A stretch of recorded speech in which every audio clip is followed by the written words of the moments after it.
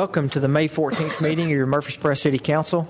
Um, Councilmember Madeline Scales Harris has the prayer and the pledge tonight. Thank you, Mayor. May we bow our heads?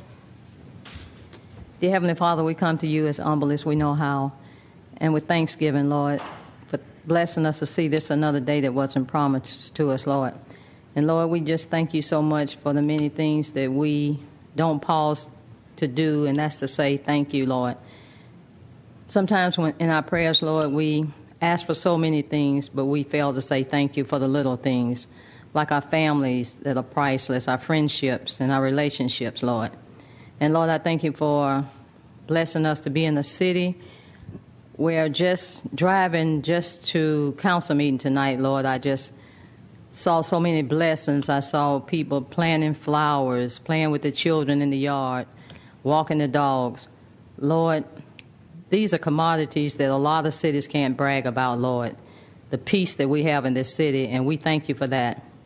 And we thank you today, Lord, that we were blessed to recognize some fallen officers, Lord, for the years of service that they gave, and they gave their lives doing their passion. And Lord, as I went around the square, I passed the fallen wreath that was presented today and I just said, Lord, that could have been me, but through your grace and your mercy, you've allowed my golden moments to roll on a little while longer. And I thank you for that, Lord. I thank you for our citizens, the senior citizens, the veterans, just our employees, just our entire city.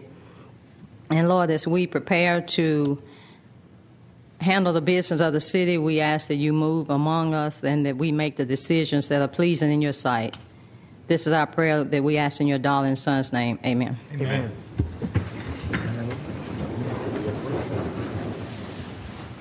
Allegiance to the flag of the United States of America and to the republic for which it stands, one nation, under God, indivisible, with liberty and justice for all.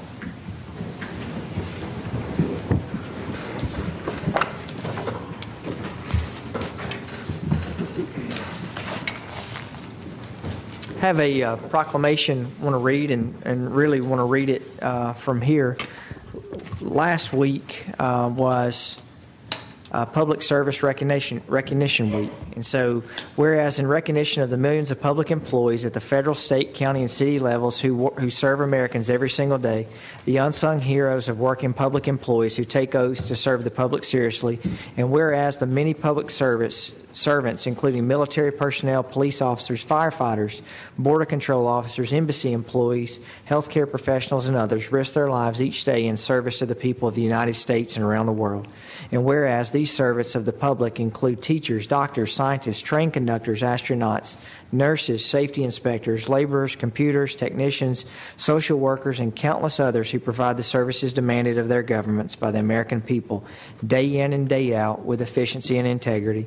And whereas these public service servants at every level continually would be impossible. Continuity it would be possible impossible in a democracy that regularly changes its leaders and elected officials. Now, therefore, I, Shane McFarland, Mayor of the City of Murfreesboro, Tennessee, on behalf of the entire City Council, do hereby proclaim this week as Public Service Recognition Week in Murfreesboro and urge all of our citizens to recognize the accomplishments of contributions of government employees at all levels federal, state, county, and city. So I would like to ask, um, see several of our hardworking employees who are out in the uh, audience, and so I'd like to ask if you would please stand up if you're a uh, City of Murfreesboro or any other governmental employee.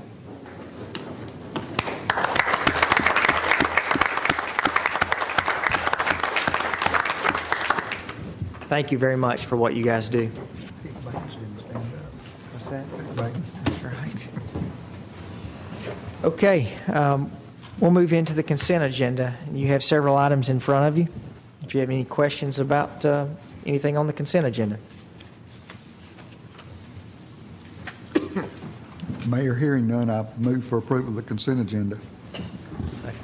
All right, we have a motion and a second. Ms. Wright, you'll call the roll. Ms. Scales Harris. Aye. Mr. LaLance. Aye. Mr. Shacklett. Aye. Mr. Smotherman. Aye. Mr. Washington. Aye. Vice Mayor Young. Aye. Mayor McFarland. Aye. You have the minutes of the May 7, 2015 special meeting in front of you. Any additions or deletions to the minutes? Hearing no changes, I move for acceptance. Second. Have a motion and a second. Ms. Wright? Ms. Scales Harris. Aye. Mr. LaLance. Aye. Mr. Shacklett. Aye. Mr. Smotherman. Aye. Mr. Washington. Aye. Vice Mayor Young. Aye. Mayor McFarland. Aye. We'll now consider third readings and consider for passage on third and final reading ordinance 15 OZ 23 to rezone an area located west of Memorial Boulevard to Highway Commercial CH District.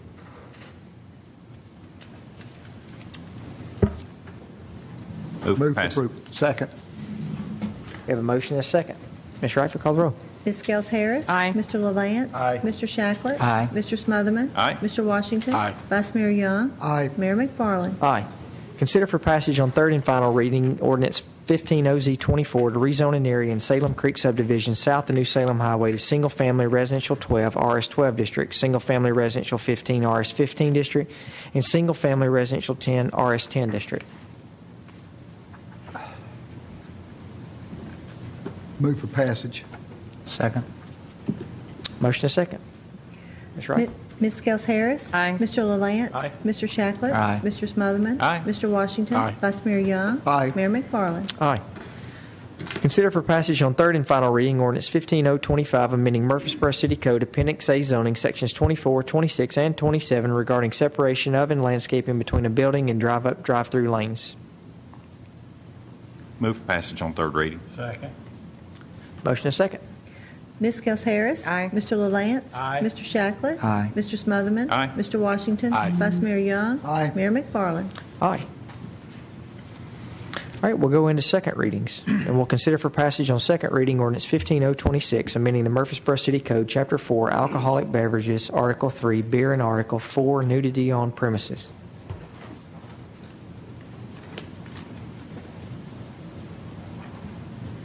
Move for passage.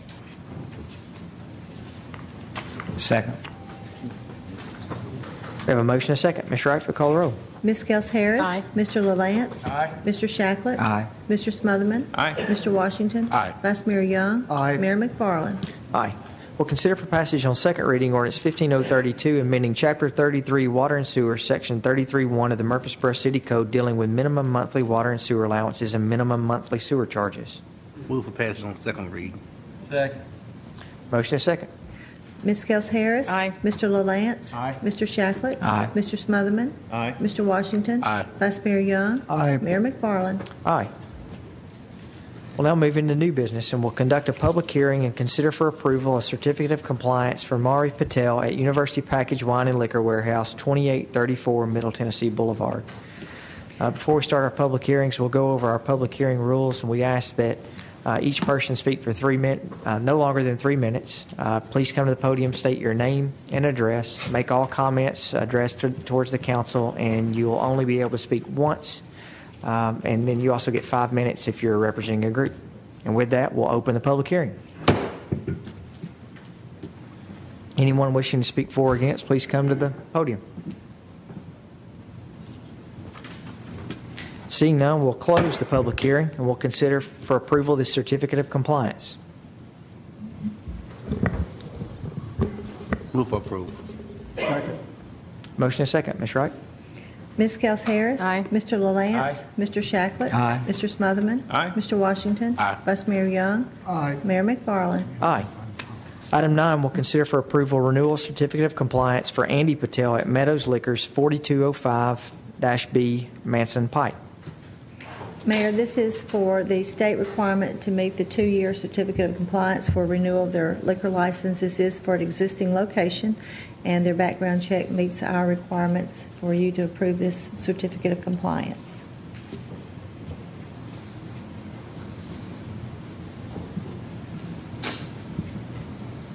Motion? Yes. I move for approval. Second. Motion and second. Ms. Wright? Ms. Scales Harris. Aye. Mr. LaLance. Aye. Mr. Shacklett. Aye. Mr. Smotherman. Aye. Mr. Washington. Aye. Vice Mayor Young. Aye. Mayor McFarland. Aye. Consider for adoption Resolution 15R11 to approve adoption and implementation of a classification and compensation plan. Mr. Lyons? Mayor, members of uh, council, we did put a uh, revised uh, copy of the resolution on your desk uh, this evening. Looking at the uh, resolution that was included in your packet, we realized there was the potential uh, that there might be a three to four week gap where we wouldn't have a promotion policy. Uh, So Section 4 has been amended to uh, add effective June 28th, 2015, and likewise on Section 5, uh, there's a clarification of the date uh, so that in repealing the existing promotion policy, we would not have a gap.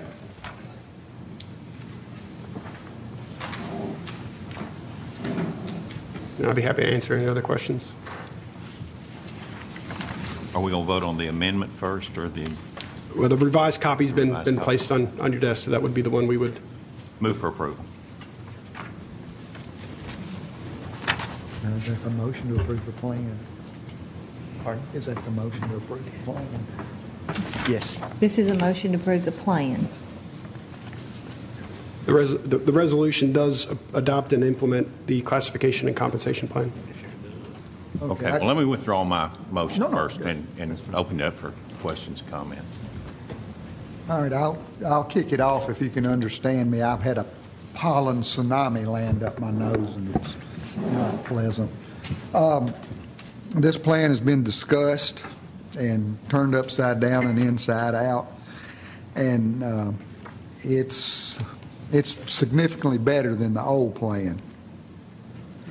The uh, employees have had some opportunities to participate in with the JAQs and the reclassifications. But there's been some shortfalls in that, that we haven't had our classification comments back and studied, and I think that's a learning lesson for staff, that, that that's important. So when we do this again, I want us to remember that. Uh, One of the things that I want to see you do, Mr. Lyons, is how are you going to stay in touch with the council? And what are your plans to continually engage the council and the um, employees and through the department heads? Sure. Uh, Because there's still a lot of unanswered questions, maybe not in your mind, but in some other people's minds. So uh, I view this thing as not a, as a, not a finished document, but a living document, and I don't want it put on the shelf. I want it to be taken down and looked at. I want to have the opportunity to say, where are we in this? Another suggestion I would make, Mr. Lyons, is I would like to see us meet annually, maybe three months before the budget comes out, maybe in March or April, and discuss the big picture items in this compensation study. Uh, We've got, uh, you've got cost of living that you've got to consider. You've got raises, you've got, uh, I'm not going to say step because we don't have step for, but w- within our ranges, we need to know where we are and how much money that we can award the employees uh, for exceptional service. And the finances of the city change. Um, We're having a fairly good year this year, uh, and we hope it continues.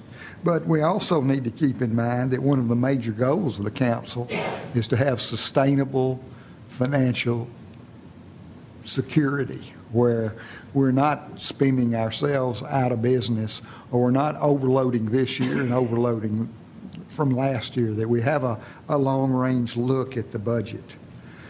Uh, Another thing that I feel very comfortable about in this is that there's 193 public safety employees that were out of range badly. And they're being brought up to range to make their salaries compatible with the other communities. And they were not in the past. And we need to not ever let that happen again. And I, I understand it's a little bit this year and a little bit that year, and then you throw in a recession, all things mount up. But one, we don't need to let that happen again. And two, this is going to give relief to these young police officers and young firefighters who are in a non-competitive situation in the past. And, and their raises are bringing them up to be competitive. So with that, that's basically what I wanted to say, is I want to make sure that we look at the big picture, that we keep uh, council informed, and that we continue to listen to our employees. I know sometimes that we think that uh, every situation is unique, and it's not. Uh, We've got 1,150 employees who are all unique pe- people. But we need to make sure that their salaries are in range and competitive, and that they are motivated by many things, and one of them is salary. Very good. So that's about all the talking I can do right now. I'll turn it over to my colleagues.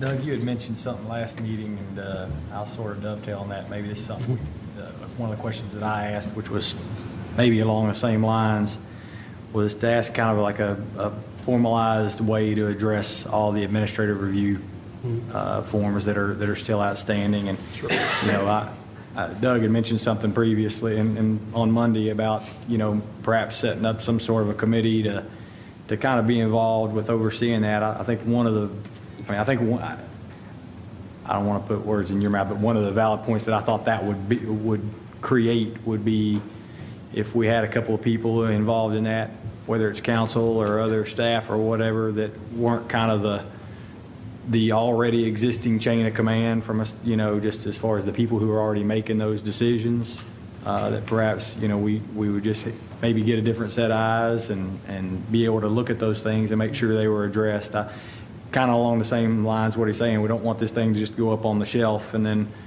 six months later, we're asking, whatever happened to those administrative review forms, you know? Did, did you put something together for that, or?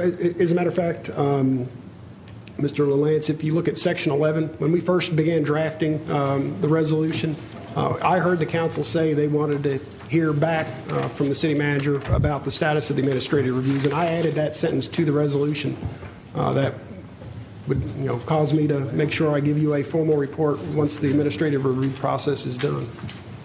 And you know, as Mr. Young uh, mentioned, you know, engaging our employees is vital, it's critical, it's important. It's one of the goals of the city council is to engage the community, and that includes uh, our employees. And I think, you know, we've tried to demonstrate through this process, we have absolutely gotten our employees involved in developing uh, this uh, classification and- and compensation plan. And uh, the idea that we would continue to engage our workforce, you know, by the city manager's office, by the human resources department, and by the leadership team uh, is going to be important. Uh, we learn from it every time. Uh, so the idea that we can continue to uh, have conversations with uh, our employees, learn from them, share information with them so they stay up to date is something we, we absolutely need to do. But when the administrative review process is done, I'll be absolutely providing you a written report uh, on you know, what that looked like. Mr. Lance, in part of that, could, uh, I, I'm a fan of the roundtables. I think if they're done right, you're going to get some good ideas where you might not get them uh, in a, a different setting. So I would like to, maybe for you to consider stepping those up and, uh, and getting feedback from our employees, because the best ideas come from the people that are doing it every day. And they're doing it every day. Yeah, I've enjoyed those. And I'd like to see a council member be on that committee that actually uh, reviews some of these uh, administrative reviews and make the, re- and the recommendations, because it's sort of like years ago when uh, an employee was terminated or whatever, there was a complaint that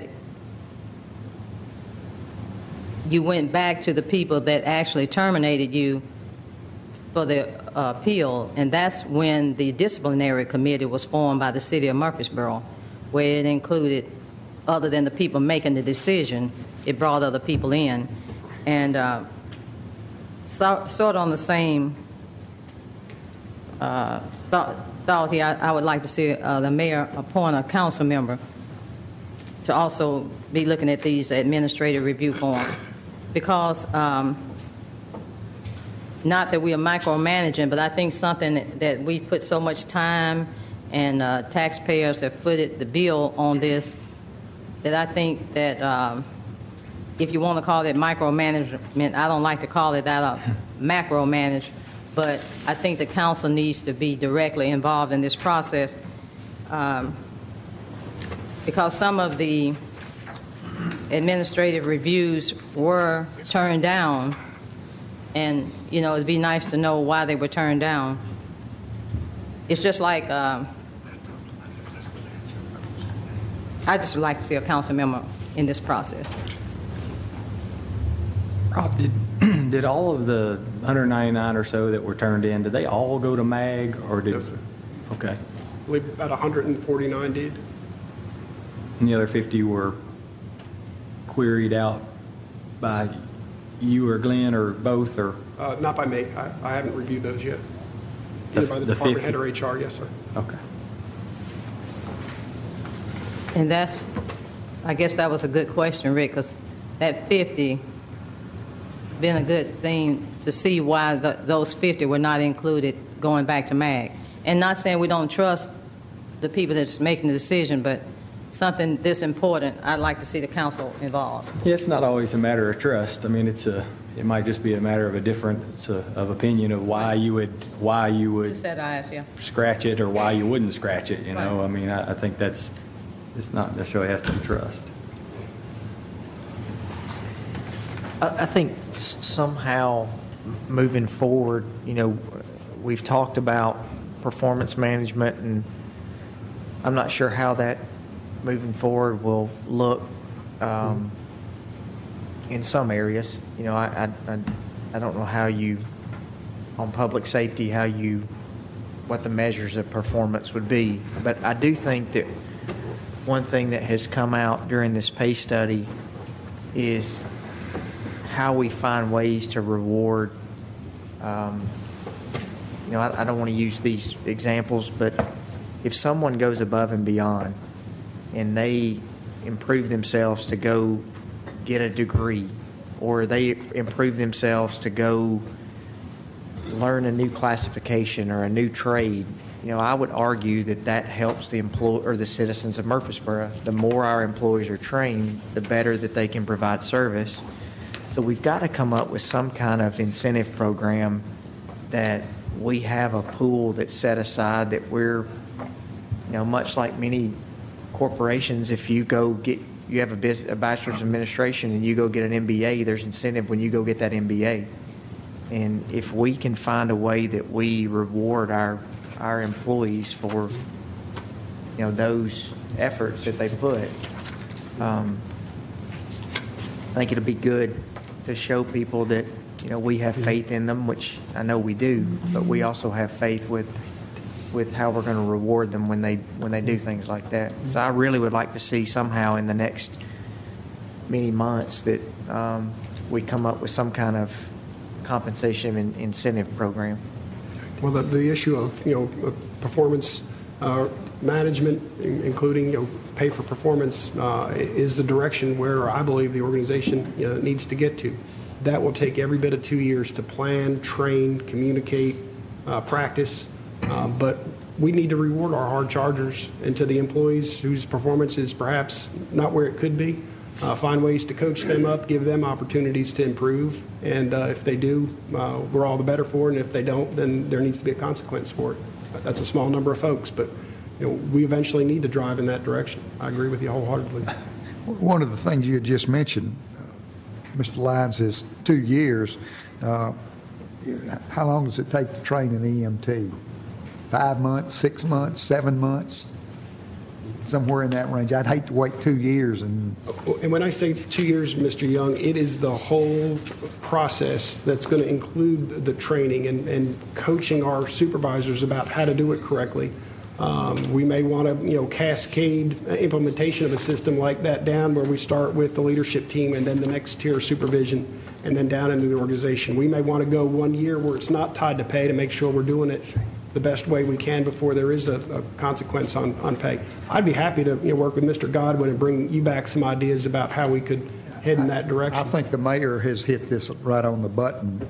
Uh, Is it, do you want to put, try to put something in this resolution to that, Mr. Mayor, or you want to just let the Well, I- Because I know, I'd had a conversation with Mr. Godwin, and he is working on that. Now, his plate's pretty full in the last three months, but he should be working on some sort of plan to figure out how to compensate for continuing education for our And, employees. and there's really two, two different issues there. One is, you know, how we look Right. at, you know, employee development in, in terms of, of education. Uh, that's one path. Um, and then the second, Mr. Godwin's already uh, begun doing some research on that.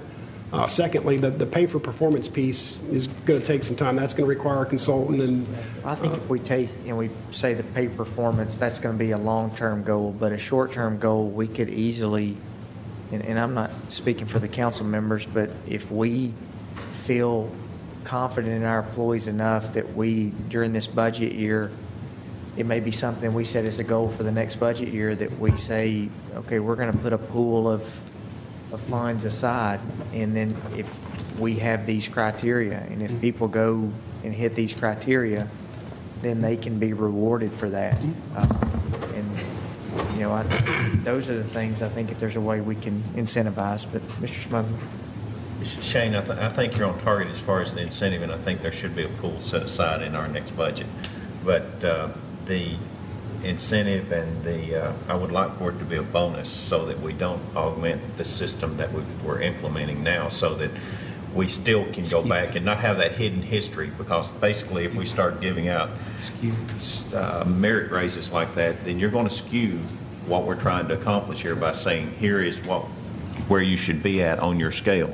So, and if, if you were to do it as a bonus, you would also be rewarding them the year that they were either a high performer or that they uh, went beyond on their education requirements. And so, so I think a bonus would be a much better incentive for us to do out of that pool than to actually do a, a, what, a traditional merit raise that would go into your salary. Uh, because I, I think that kind of messes up our, why is so-and-so getting paid so-and-so when they were promoted on the same day and that, and, and they've got the same days of service. That's what we're trying to work out of our system. We're trying to work in, so that we do have parity and clarity as to why you're getting paid what you're getting paid. well, we, we would love the opportunity to come back and have, uh, you know, a conversation with the council and present some ideas about, you know, what we can do. It's a complicated area, and, and it needs to be done well. Done poorly, it's a problem. Uh, But we really want to work hard to get this right. Now, Mr. Godwin and I have talked about this for several years, Uh, so we'd be more than happy to come back to you with some ideas uh, next year. Mr. Lance? I I was just going to ask, we're, uh, you know, we've talked a couple times in these meetings too about doing some sort of an overlap study and plugging that into this equation and, um, you know, down the road. I think that we've clearly identified that as a, um, as an issue that we need to address. Uh, And, and I think, you know, a lot of people felt like, you know, that might have been an issue that would have been addressed in this plan. And, and, you know, I, if it's going to be addressed, I'm comfortable with this plan not addressing it. If it's not going to be addressed in the future, I'm not comfortable with this plan not addressing it, I guess is the best way, the easiest and most simple way for me to say it. So um, I guess that'd be another one of those things. I just need some assurance on that. You know, feel like, you know, those, sort of those loose ends that we've got out there to me are the administrative reviews, which I'm glad that we'll be addressing that for certain. Um, And then, then the overlap study, which I, you know, uh, if we could make that happen in a, in a different, um, in a different manner than this has transpired, that'd tickle me to death. But uh, love to see how that can be built and what our options are there and how we might address some of these things without, without messing up the system that we, that we're building, you know? And- And, you know, regarding the, the, you know, overlapping pay ranges, you know, as I've shared with you, that one's got a lot of complexity to it. And whether or not we can completely eliminate it or we could reduce it, uh, there's significant legal issues, personnel issues uh, that I want to get with our team to figure out, you know, what's going to make the best sense. I don't want to stand here and say I can come up with a plan that and can eliminate it or, or, or get rid of it without understanding, have, helping you understand all the, the ramifications of that. But I know it's on, you know, the radar of more than one department.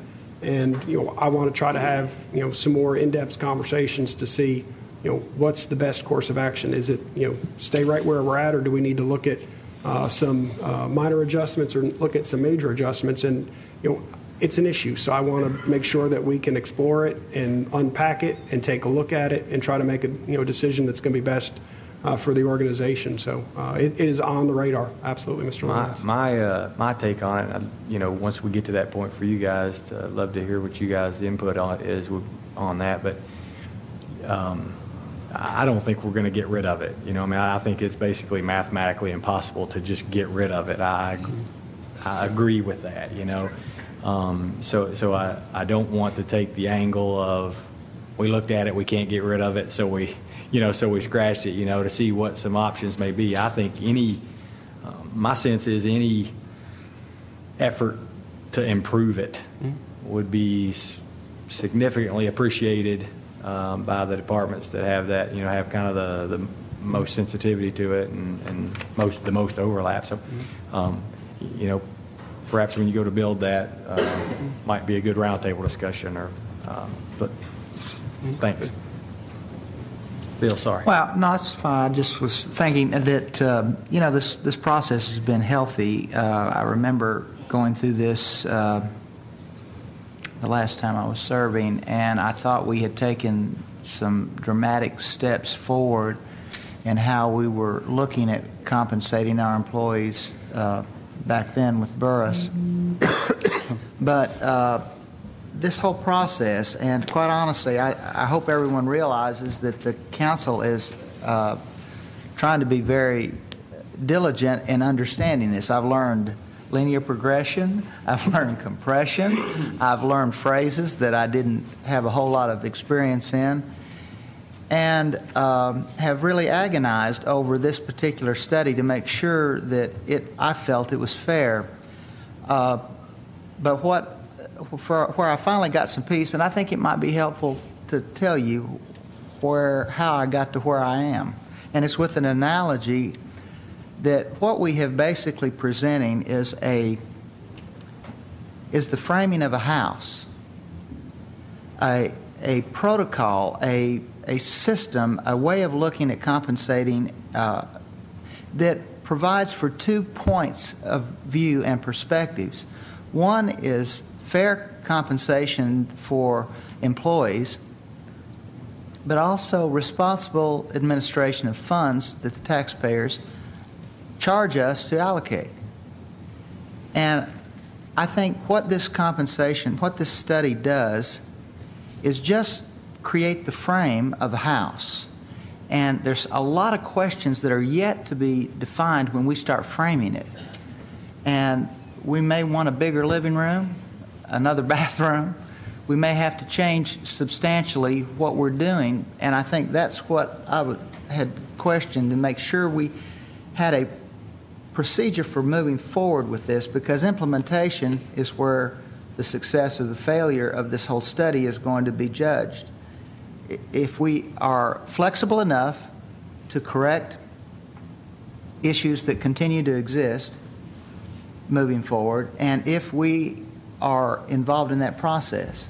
And that's why I think one of the concerns of the council is to make sure that we do this in an extremely timely fashion so that while you know, while we are striking, while we have knowledge of what needs to be addressed, and I, and I would just commend to staff that we, we start to build the frame, something on the frame quickly, so that it can provide for uh, an assurance of individuals that we are addressing some of those concerns, that if we choose to adopt this tonight, that it is, is a living document, and we've proven that it's a living document by a, the way we're going to move forward in the next short term, not just in the next three years when we decide to do another market study.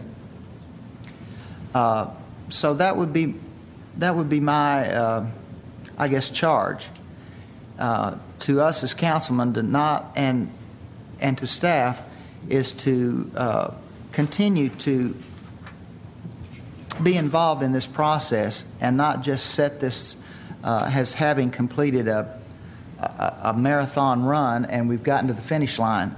This is something that only becomes practical when we use it and work it and build on it and begin to work out those things.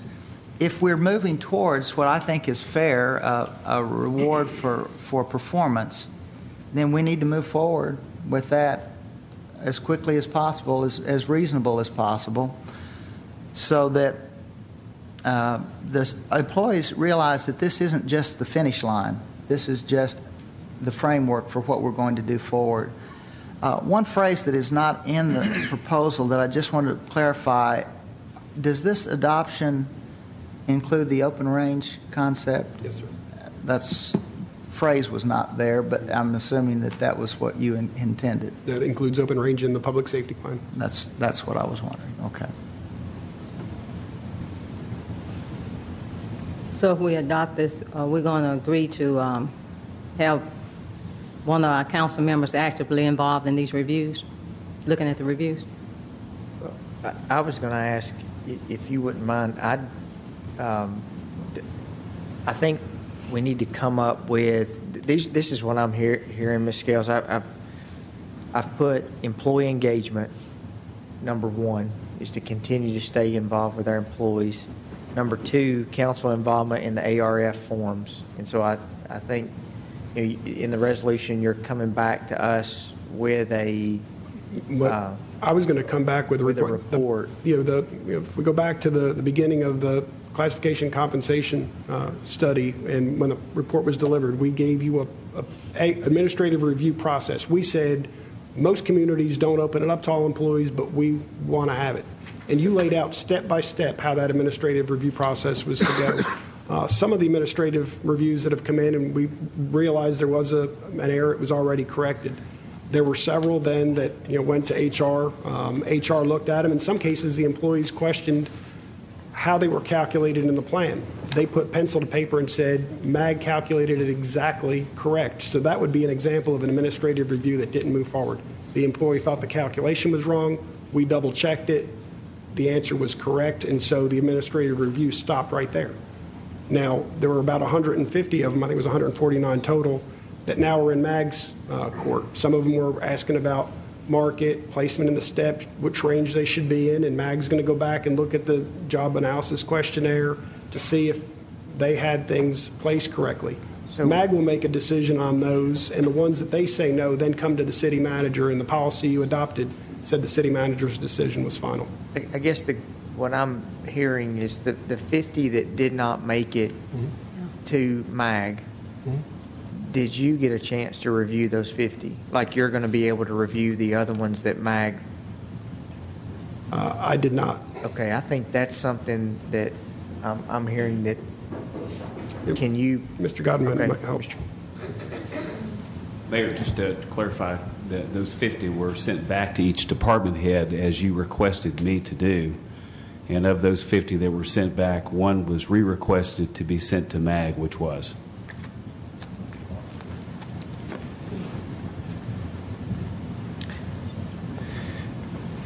I think the plan really outlines what the criteria is to, to get your uh, MAG, or not MAG, but your JAQ uh, request through the process. If, um, the, the- only fear, and- and I've got complete respect for your suggestion, Madeline, but uh, the, the problem is, is I, I would certainly not want to be the council member who's involved in determining whether or not employees get raises. And, and basically, that's what you're going to be doing if we put somebody in that position. You're either going to become the most hated council member, or you're going to be the most popular council member that there's ever been in Murfreesboro by being on that committee, I think, because you're going to be the go-to council member that everybody's going to say, I've got to go talk to that council member because they're going to determine what my pay or whether or not my job uh, I don't think that, question gets approved. I- no, what I'm saying is, if something is not accepted, then it's, an appeal is this administrative form, that's your appeal. Right. But it's going back to the same people who made the decision. And I don't see many of them changing their minds. That's what I'm saying. Ms. Scales Harris, if, if I get a, you know, administrative review form and I review it and I believe it should be changed, I'm going to change it. But there's been many, many decisions been made through the course of this study that we've had to make a decision and, and we need to be consistent with all those others. And if it's not warranted, you know, we will explain that. Um, But, you know, I- we've got to make a decision ultimately based on the facts before us and being consistent with the focus and framework document uh, and the rest of the study. Uh, But if I see a mistake, I'm going to fix it. But Was there a, I mean, maybe part of this is just that we don't, you know, I, I'm not 100% familiar with exactly how that administrative review form looked. And, you know, I mean, was it a, I mean, cl- clearly, uh, we, we asked you uh, on your, or gave you the authority on your asking to, to follow that administrative review process, which I think is great. I mean, to give people the, uh, the opportunity to do that. Um, I mean, was it, you th- did everybody understand that basically the, the thing that they're, the, what they really have to prove on that is they have to prove that something that they had on their JAQ, they had to add to that. I mean, was it, I mean, essentially it was going to have to be changing something that was on their JAQ or adding to it. Uh, you know, we had a comment about some, a group having all the same JAQs, which I, I worry might have, might have hurt, not helped. Um, is that, is that, The, the big, it's a great question. Uh, the biggest majority of employees, and obviously the ones that were sent to MAG, felt that their placement was incorrect in the range or their title was wrong. And those, those were easily sent to, to MAG. So I do think the majority of our employees very clearly understood the purpose of the form.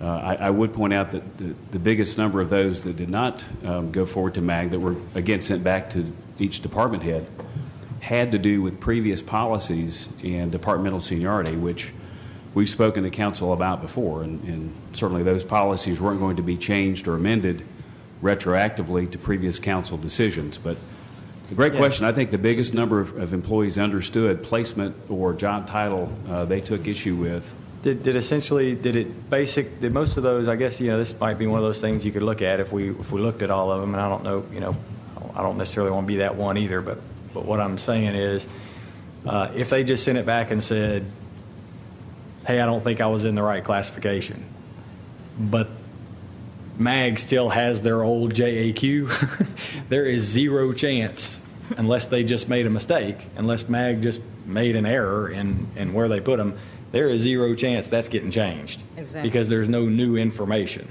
So did, were they asked for new information, you know, what, what basis are you, what basis are you using to say, you put me in the wrong category, I guess, and I, Let me- let me I hope try that to- makes sense. That's Yeah, kind let of. me, let me try to answer, Mr. Godwin may uh, be able to supplement uh, what I say. You know, when an employee filled out the JAQ, they understood their job, what they did, they filled it out, and it was checked by their supervisor. But what I saw happen in, in these situations was they were saying, well, I should be up one grade higher or two grades higher. But the fact of the matter is, they weren't looking at the JQs for all the other positions in the mm-hmm. grade higher than them or two grades higher than them. They had no knowledge of it.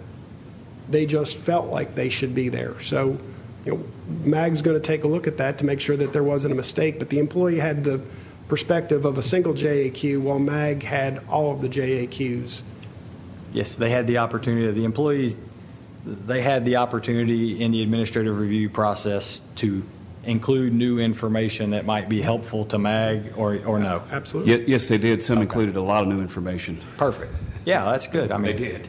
I, I, Well, well, let me ask this, then, Mr. Lyons, when you give us your report, I think you're going to periodically give us a report uh, on the progress and everything. Well, well, my intent is that as soon as I get the uh, administrative review forms from MAG, I'm going to work on, go to work on those immediately and try to get those uh, turned around, you know, make a decision on those as quickly as I can. This will be a priority for me. I'm not going to let it string out over the summer. My goal is to have it done in, uh, you know, a very short period of time. And when I'm done with that, uh, I'll send a written report to the council about, you know, what I received, what I, said- what I agreed to change, and uh, where I upheld the decision that was made by the department head, HR, MAG, and myself.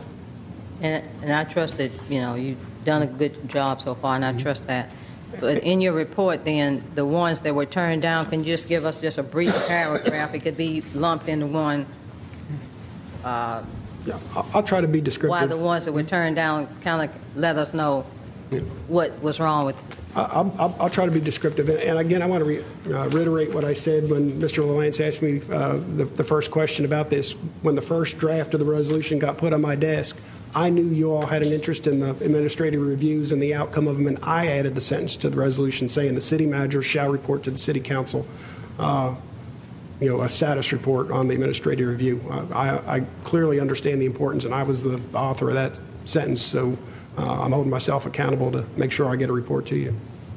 And the reason why here, again, I'm saying that because the whole gist of what I'm hearing from employees is that um, they're saying one thing and management is saying another thing, and you don't want to say this one is not telling the truth and this one is not telling the truth. So in the report that we get, not only get uh, the response back of the ones that were changed, but I'd like to see some of the comments of the ones that were actually turned down in, our, in your Try to be report. Want to know why they were turned down. And that will eliminate the council sitting on a committee. We will be getting it in the report. Because here again, this one, this group is saying this, and, and you all are saying, no, that's not right. And so we kind of like the um, white and the Oreo cookie here. But we have to make the decision. Well, on a very brief synopsis, what the employee is saying is there was a mistake made. What the review is going to say is either there, there was a mistake made or no, there wasn't.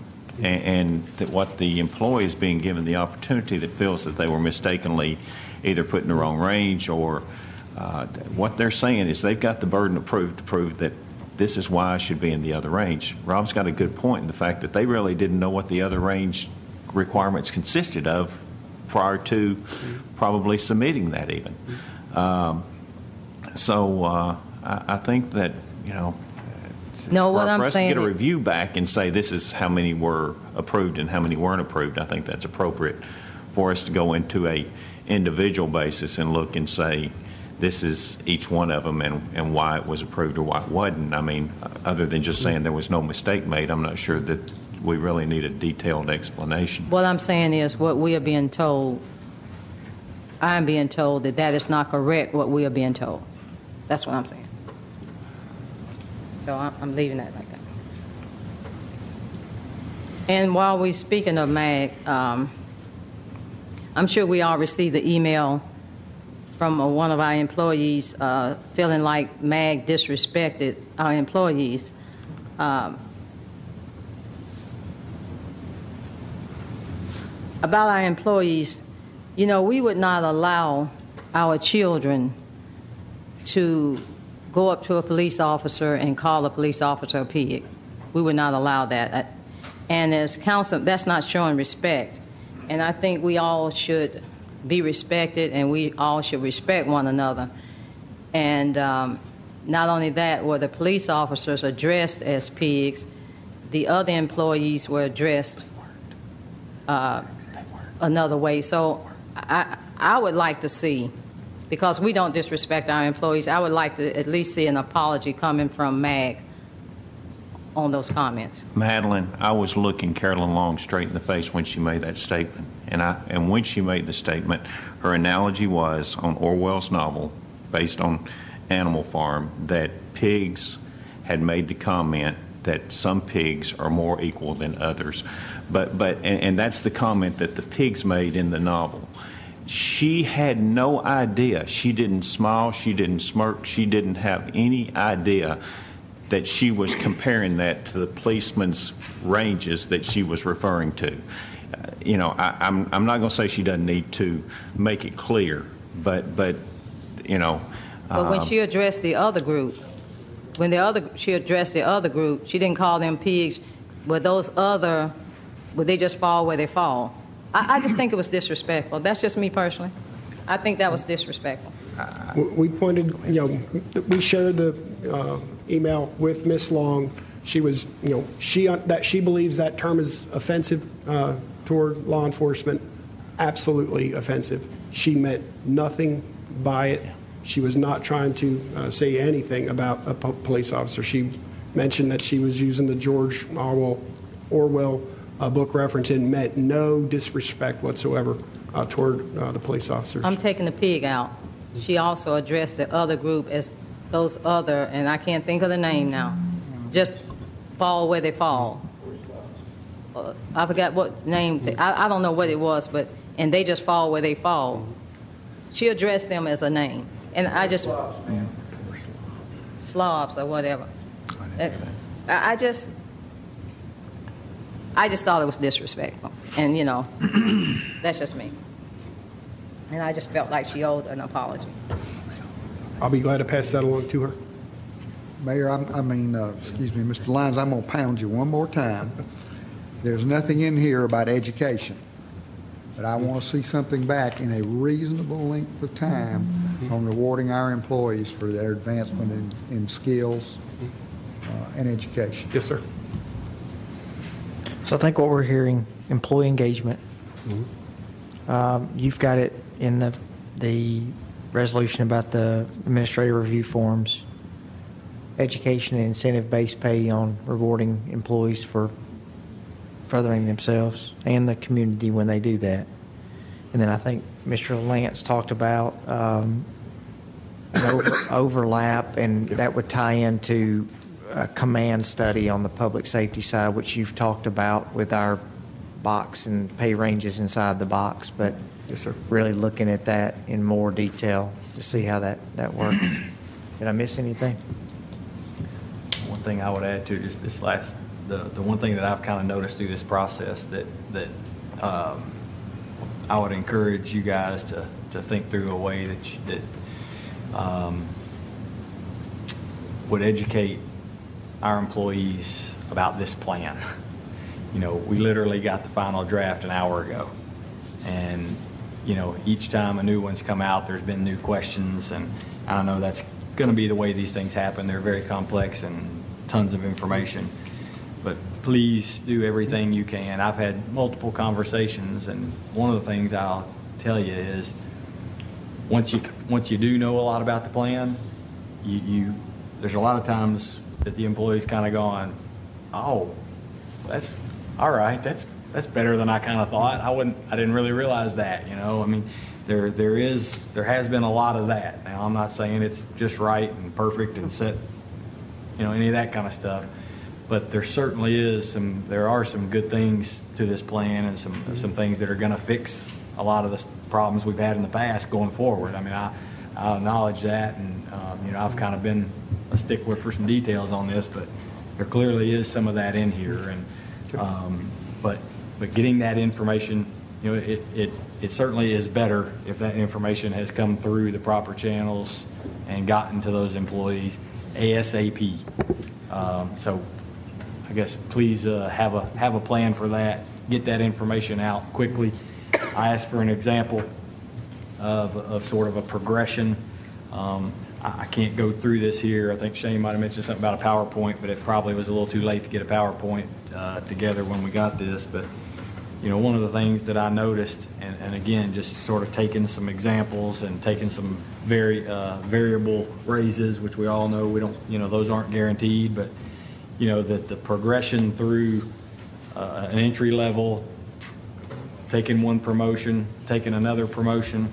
Um, It is clearly a much better path than, than what we've had previously. Um, And because of the promotion policy that we're adding to this, that's part of this resolution too, um, you know, I, I was pretty pleased with the ones I've seen. I didn't look at every department and every job and all that kind of stuff, but the three or four we've looked at are definitely better.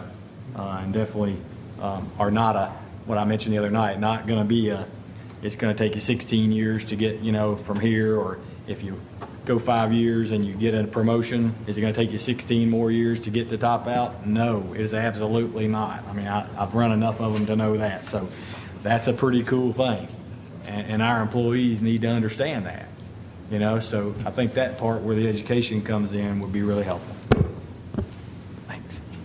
Rick, you, you really nailed it. Uh, That's some very good comments.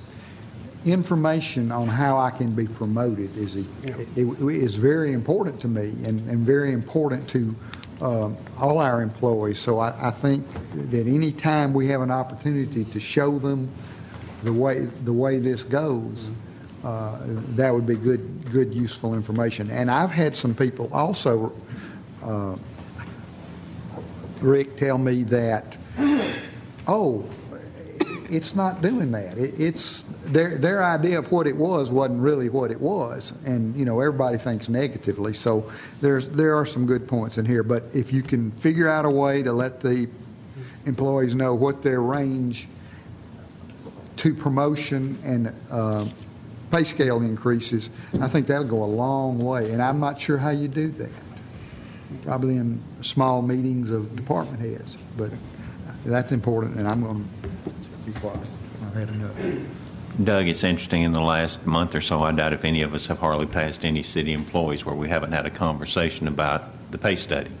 And uh, even on the, the lawn out here front this morning, we were talking to uh, some recreation, Madeline and I were talking to some recreation employees about their pay study. Night before last, I guess it was, or uh, two or three nights ago, I was talking to a police officer in Arby's, and uh, he was a young police officer, just got on, and I asked him what he thought about the pay study, and he he didn't know me from Adam, which was good, and and he said, I don't think it'll ever be approved, and I said, why do you think that? And he said, because for me, he said, it's going to be a significant enough pay raise that it will pay my car payment, and for me, that's like giving me a car. And, and I said, well, trust me, I think we're going to get there sooner or later. I said, uh, if you'll just give us a little more time, I think we'll get it approved. So having said that, I'm going to resubmit my motion uh, to approve the package as presented tonight. I Have a motion. Based on what Shane is asking for, the additional, right? Based on what Shane, as far as, He's, he's not amending it, uh, the motion, is he? No, I'm not, um, w- not amending the resolution, but I think it's very, what we're saying, that we're going to ask for that those that things. these are things Right. that the council has clearly said we Right. want to see, so. Yeah.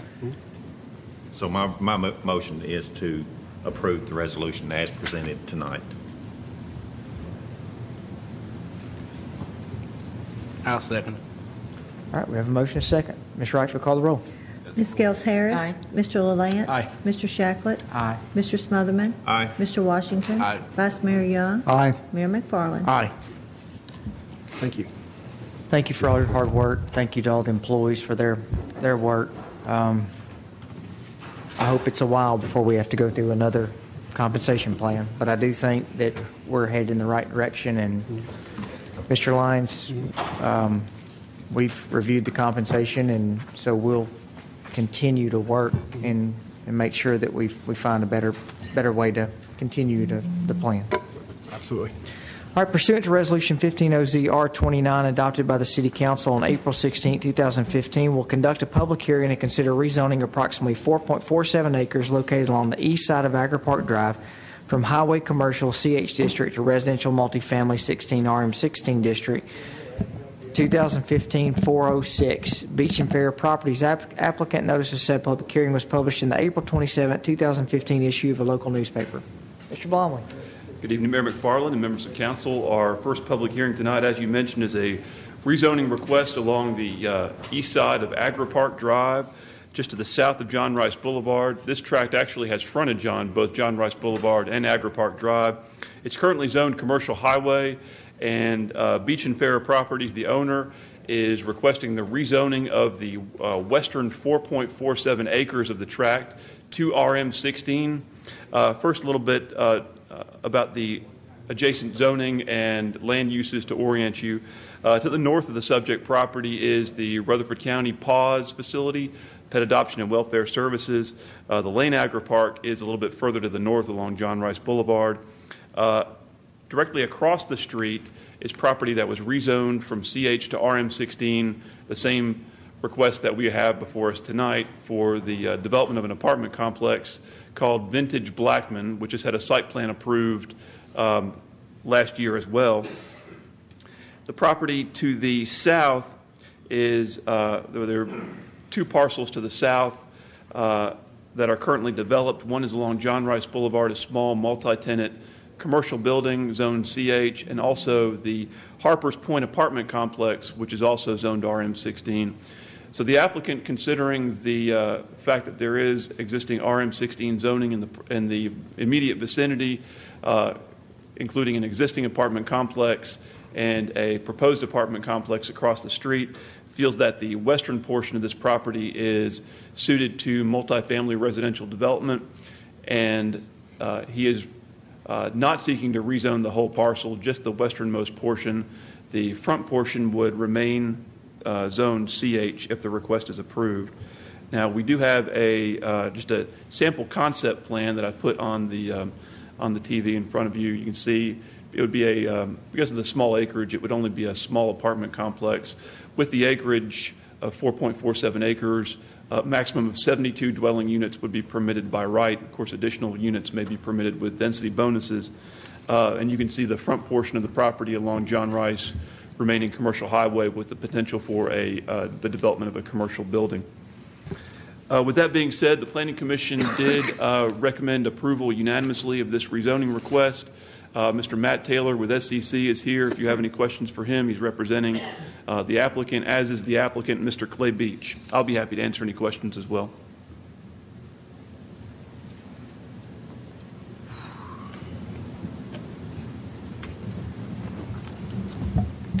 Okay. Thank you, Mr. Blomeley. We'll now open the public hearing for this um, rezoning request. Anyone wishing to speak for or against, please come to the podium.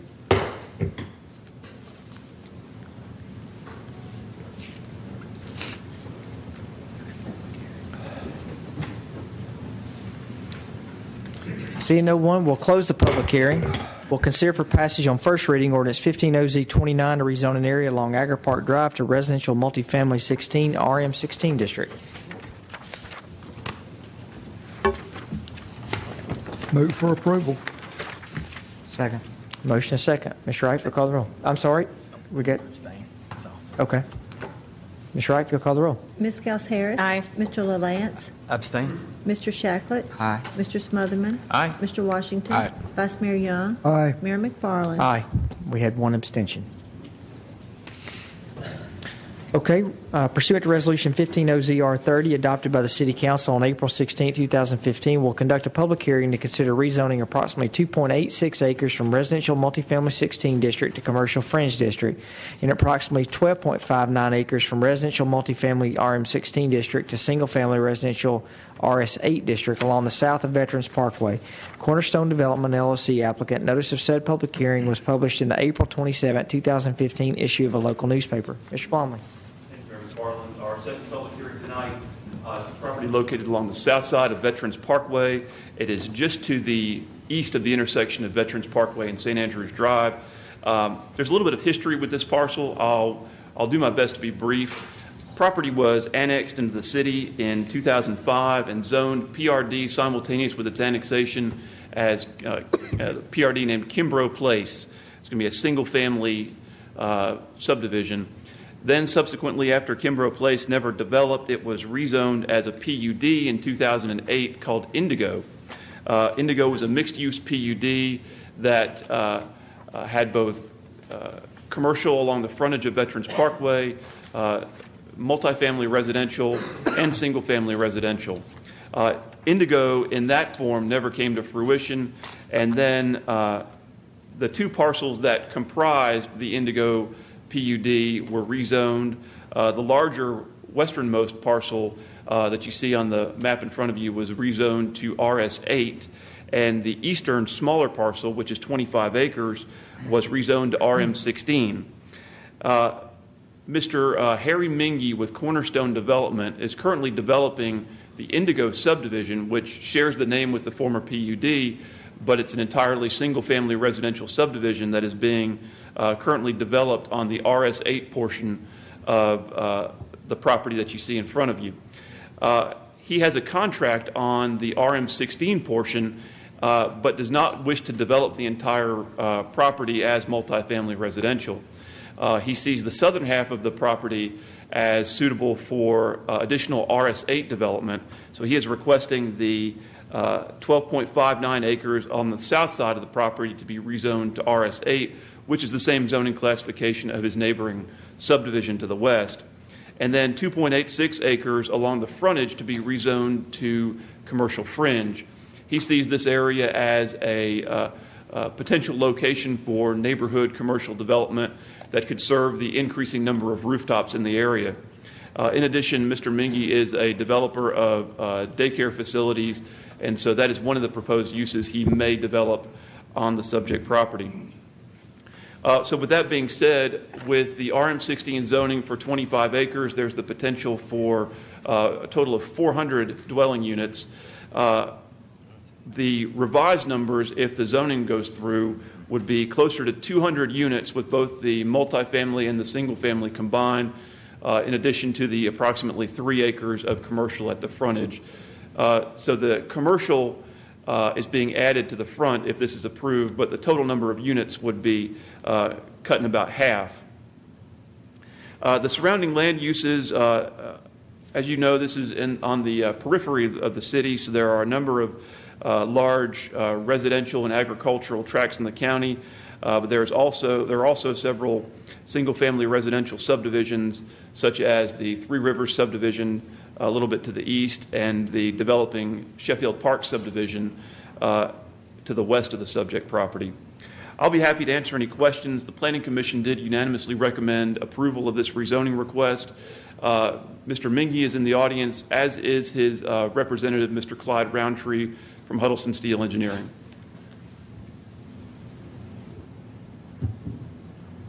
Any questions? Okay. Seeing none, we'll open the public hearing to consider this re- rezoning request, or excuse me, rezoning request.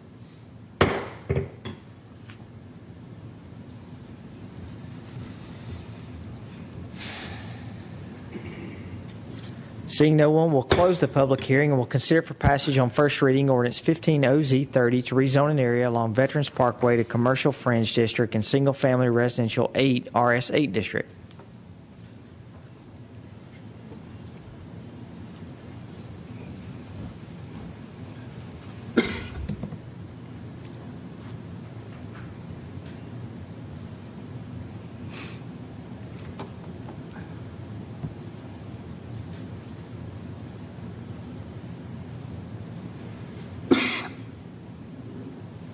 So moved. Have a motion? Second. Second. Ms. Wright, for call the roll. Ms. Scales Harris. Aye. Mr. LaLance. Aye. Mr. Shacklett. Aye. Mr. Smotherman. Aye. Mr. Washington. Aye. Vice Mayor Young. Aye. Mayor McFarland. Aye. Pursuant to Resolution 15OZR31 adopted by the City Council on April 16, 2015, conduct a public hearing to consider a proposed amendment to approximately 12.17 acres in the Planned Unit Development PUD district located along the west side of Fortress Boulevard in the Victory Station PUD. Um, 2015-408, Murfreesboro IL-AL Investors LLC, applicant. Notice of said public hearing was published in the April 27, 2015 issue of a local newspaper. Mr. Thank you, Mayor McFarland. Our third public hearing tonight is an amendment to the Victory Station Plan Development, which was, which was originally approved, approved around 2000, 2001, and has been amended several times since then as the plan has evolved. Uh, Victory Station PUD is a mixed-use plan development, uh, some of which has already been developed. Um, Some of the uses in the Victory Station plan development that have already been developed are the uh, CVS and the Exxon on the run in the corner of uh, Franklin Road and Fortress Boulevard, as well as the uh, Murfreesboro Missionary Baptist Church on Fortress Boulevard, the Cross Creek Apartments, and the Victory Point Single Family Residential uh, Subdivision. Uh, This particular amendment deals with parcel F, which is the parcel uh, in the purple on the map in front of us. It is directly to the south of the Victory Point subdivision along the west side of Fortress Boulevard. Uh, It's composed of 12.17 acres, and currently the, uh, the zoning plan for Victory Station calls for this development to be developed as a 176-unit uh, multifamily residential development with 384 parking spaces. Uh, The applicants are seeking an amendment to the plan development which would change the proposed use allowed for this you know, parcel F to a, what we would classify as a home for the aged and assisted care living facility.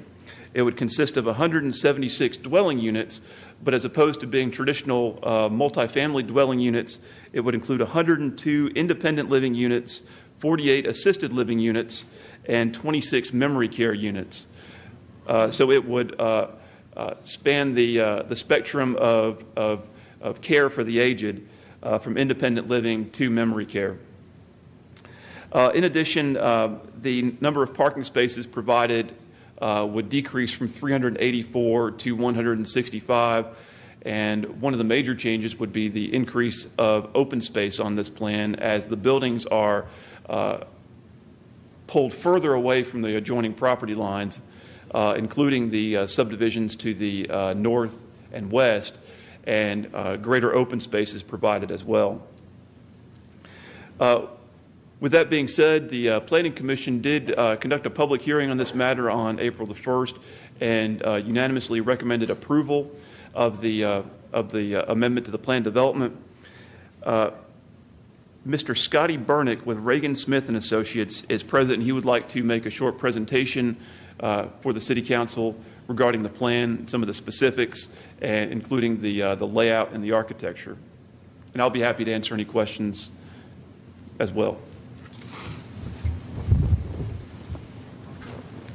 Good afternoon. My name is Scotty Bernick. I'm a landscape architect with Ragan Smith, and we'll try and keep this brief.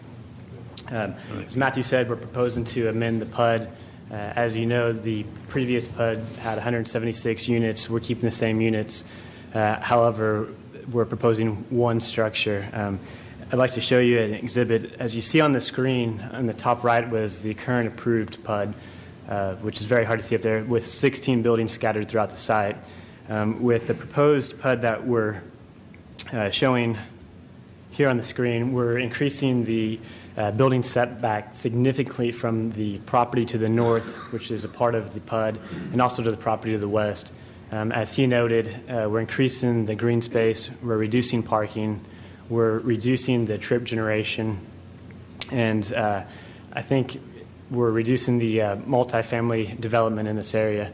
Um, in terms of uh, architecture, there's going to be the first level will be brick, uh, with parts of the second level being brick. The uh, remaining second and third level will be a cement board siding. Uh, this provides a great transition from the single family uh, homes to the north uh, to the commercial that will be developed to the south. I'm available for questions at the appropriate time. Thank you. Any questions? Okay. Seeing none, we'll open the public hearing and consider this uh, PUD amendment.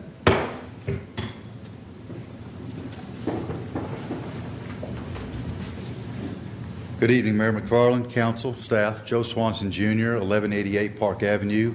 I represent the family that uh, nearly 15 years ago now developed the uh, Victory Station PUD. Um, When Joseph was still here, he and I had had several conversations about this, and although this is a multifamily product, as you know, as you sit through these meetings, you understand that to really pin down what you exactly want to do sometimes is, can be extremely difficult. Um, we viewed this plan as a multifamily, but it didn't quite meet what the what the overall plan was. It was more specific than that, and for that reason, Joseph felt like we needed to come before you and get approval since it wasn't exactly traditional multifamily. Um, it's been very good working with Ragan and Smith and the company and Mr. Paul Saxon uh, specifically in this product. I think that uh, through the plan you can see that they've done their homework and they uh, we agree and would ask and recommend that you approve this project. Thank you.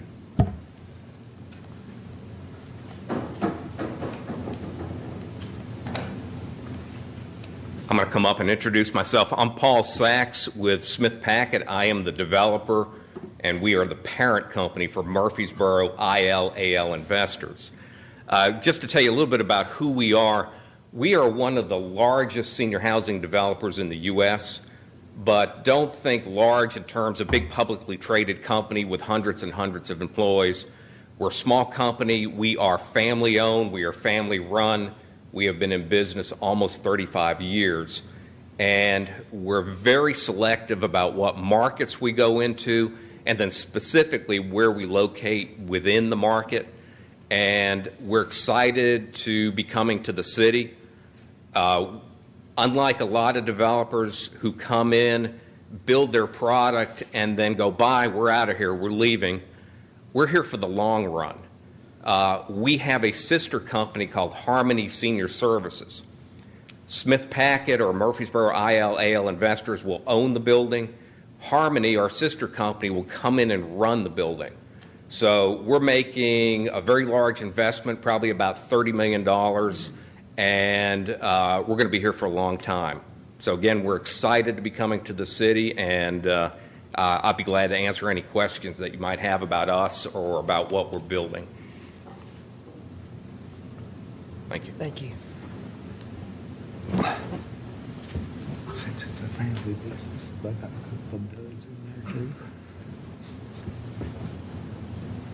Okay, seeing no one else, we'll close the public hearing. We'll consider for passage on first reading ordinance 15 OZ 31 to amend the conditions applicable to the planned unit development PUD district located along the west side of Fortress Boulevard in the Victory Station PUD. Move for approval. I knew Doug was going to approve that. He's looking for a place to live. They're ganging up on me over there. How fast do you think you can get this thing built? It, it was the memory care that got me. You had memory care. I Have a motion and a second. Ms. Wright, will call the roll. Ms. Scales Harris. Aye. Mr. LaLance. Aye. Mr. Shacklett. Aye. Mr. Smotherman. Aye. Mr. Washington. Aye. Vice Mayor Young. Aye. Mayor McFarland. Aye. Thank you for the investment in our community, and, and we look forward to you being a, a good partner. Thank you. Thank you. We'll now consider for uh, recommendations of the Planning Commission. Mr. Blomeley. The Planning Commission, during its regular meeting on May 6th, get my PDF ready. During its regular meeting on May 6th, conducting public hearings on the matters that I will go over here. Um, A rezoning application uh, for approximately 1.4 acres located at 1508 East Main Street to be rezoned from RM16 to CF, and approximately 0.47 acres located at 1512 East Main Street to be rezoned from RS15 to CF. Uh, Mr. Donnie Dement is the applicant on that request. And another request uh, of rezoning for approximately .64 acres located at 417, 419, and 427 East Burton Street to be rezoned from CMRS 8 to OGR. And Marion Catrice Dunstan, Rodney W. Graves, and Teresa Ann Carlton are the applicants. Uh, It is recommended uh, that the City Council schedule public hearings on both of these matters that were recommended uh, unanimously for approval by the Planning Commission. Mr. Ives, what date would you like? Uh, Mayor, we would recommend June 18th. There is already one public hearing set that night. I believe that with the amount of discussion at the, at the Planning Commission, these will be fine. Okay. Uh, Won't be any problem to schedule these at the same night. What bearings do you want? I move we schedule the meeting for June 18th. All right. You the second. All right, we have a motion and a second. Ms. Scales Harris. Aye. Mr. LaLance. Aye. Mr. Shacklett. Aye. Mr. Smotherman. Aye. Mr. Washington. Aye. Vice Mayor Young. Aye. Mayor McFarland. Aye. And our second item under Planning Commission recommendation is a street renaming request uh, for the Bar, for Barwood Drive in the Blackman Farm subdivision. And you've got the, the map in front of you. Uh, Barwood Drive is a short street that stubs out into what is being developed as the Hillwood subdivision. Uh, Originally, when the Hillwood P- PUD was approved in 2008, uh, Barwood Drive was going to curve to the south, and Miranda Drive, which is located in a county subdivision uh, to the east off of Gresham Lane, was then going to tee into uh, Barwood Drive. So both streets would be able to retain their own uh, street name. In 2010, a, an amendment to the Hillwood Plan Development was approved, which made for one continuous street, uh, in other words, uh, Barwood Drive and Miranda Drive would now be one continuous street from Gresham Lane uh, all the way to Axelwood Drive in the Blackman Farm subdivision. And on the, uh, the map that I have on the TV, you can see I've put, uh, overlaid the uh, master plan for the Hillwood subdivision with the uh, existing parcels for Blackman Farm to the east and I believe the Glendale subdivision in the county to the west, or excuse me, vice versa, Glendale to the east and Blackman Farm to the west. And as you can see, it is uh, one straight shot from Gresham Lane all the way to Axelwood Drive. Uh, With this plan development amendment and with the uh, realignment of uh, the connection from Barwood to Miranda, uh, it has necessitated us uh, reviewing the street naming situation um, and reviewing uh, the possibility of a street renaming. Uh, Staff took to the Planning Commission for public hearing uh, last Wednesday, May 6th, the renaming of Barwood Drive in the Blackman Farm subdivision. Uh, There are 19 addresses on Barwood Drive, and if the street Barwood Drive is renamed to Miranda Drive, those 19 addresses would be affected and would have to be changed. After, uh, and this recommendation to the uh, Planning Commission was not taken uh, lightly. We did um, poll the police department, the fire department, and 911, and correspondence from the police department, the fire department, and 911 has been included in your agenda packets, and they all recommended uh, that it have one continuous street name uh, and that the street name not change. Uh, So the Planning Commission held a public hearing on this matter and uh, by a vote of six to one approved the uh, staff's recommendation to, uh, to change the street name of Barwood Drive to Miranda Drive. And we know that it's quite an inconvenience for the folks who are, if this is approved, that are going to have their address changed. So we will work very hard to ensure that there is as little inconvenience as possible for the folks who would have their addresses changed. Uh, The Planning Commission has final authority on uh, street naming issues, but historically, we have taken these, these matters to the City Council for ratification of the Planning Commission's action. Uh, I'll be happy to answer any questions regarding this, uh, this request. So does this fall under the category with the planning commission, commission that misery loves company? Is why you're bringing it to the city council? That, that could be true. Okay. Mayor um, and council, uh, Mr. Blomeley is our resident expert on street naming changes. He's done several in the past, and uh, as he pointed out, it, sometimes it's not pleasant, but looking at the big picture and, and the county and the city coming together, it really is necessary for health and safety issues on this. Uh, You got a date? Do we need to set a public hearing on this? No, No, this is just for... uh, Informational We asked tonight. council to uh, uh, ratify Ratify the, this. so a resolution or just a motion would be I'll, sufficient. I'll make that motion to approve the recommendations, planning uh, director. Uh, Do we have a motion? Second. We have a second. Do we have any discussion? All right, seeing none. I'm sorry. I'll discuss a little bit. Uh, You know, Eddie voted against this on Planning Commission, and the reason being is because uh, there are more houses on Barwood, which is in the city, than there are on Miranda, which is in the county.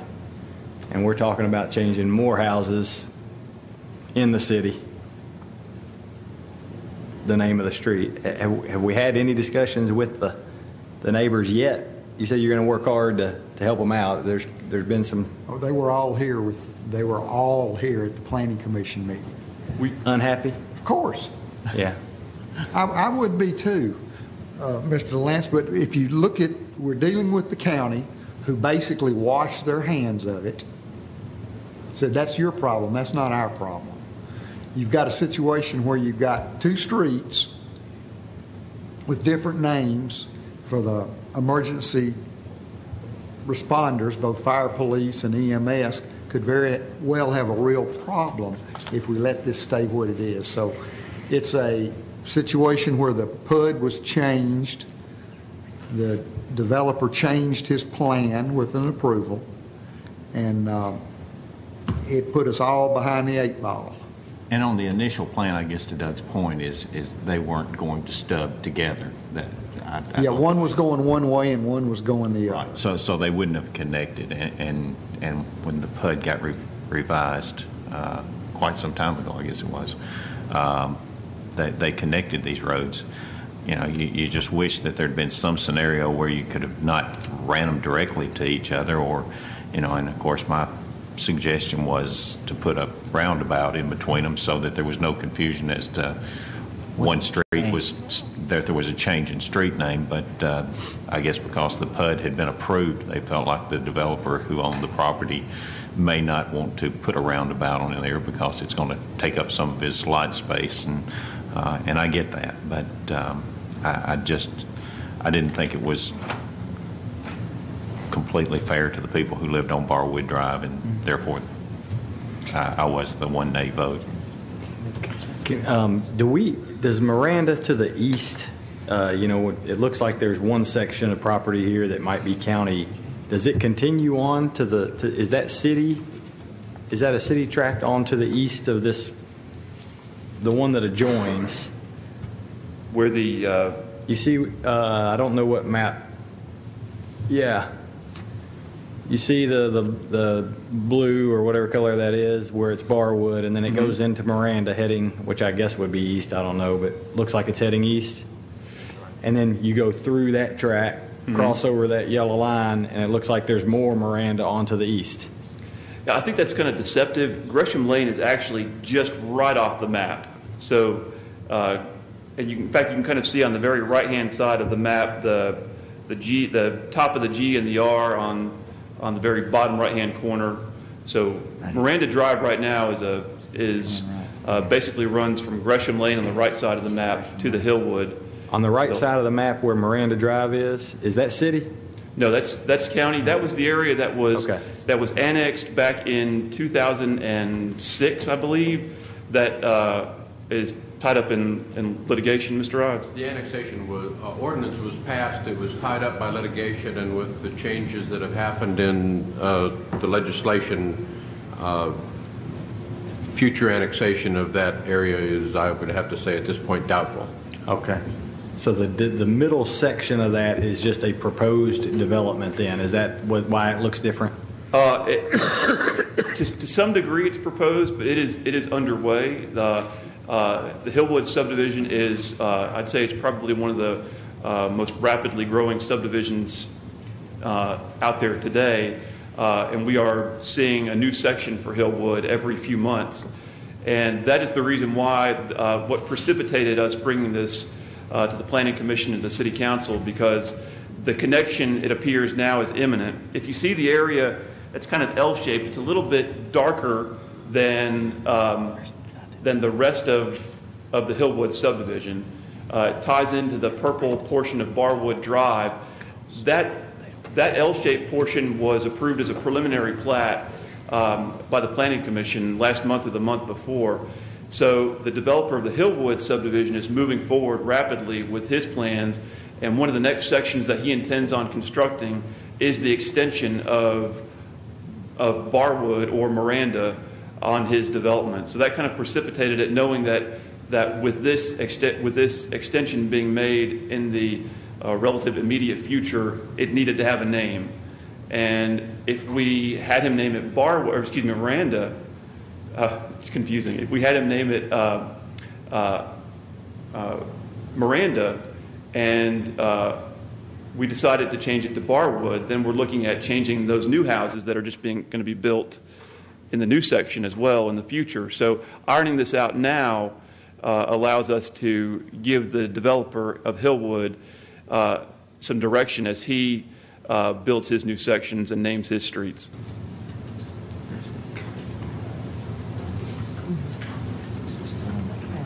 This is a, you know, looking at this, you've got a development that's in between two existing roads. The Miranda Road Drive was there first, but that's the Barwood Drive that's there, and that's in the Blackman Oaks, correct? Blackman Farm. Blackman Farms, I'm sorry. I I can understand why those people are upset. Um, And the people that are there on Braxton Bragg and Miranda and, and, and they're, they're not coming into the city. They, they have stuck a stake in the ground and said, we live in the county and we don't want to be part of your annexation. That- There's, there's no question that, you know, if, I think the developer could solve the problem in his development by just making sure that those roads don't butt into each other. uh, where, wherever the contact point would be. Um, But, and I know he's got an approved plan, but it's not that that plan couldn't be adjusted, so Is that in the city? Is that in the city now? Is that what that line is? Is that development in the city? The the Hillwood subdivision? Yeah, this, the middle portion? Yes, is city, yes. right? The the developer, um, that property is is zoned, the land use entitlement rights are there. Um, A part of those land use entitlement rights are the layout of the subdivision, uh, and he is, he is moving forward with his development.